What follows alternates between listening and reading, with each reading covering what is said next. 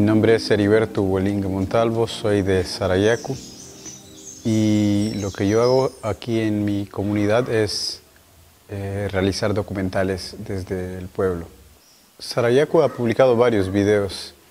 En ella contamos eh, lo que siente Sarayacu, porque yo soy de Sarayacu.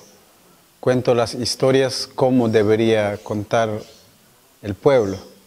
Yo siento lo que ellos quieren que se sepa a través del video fuera de la comunidad.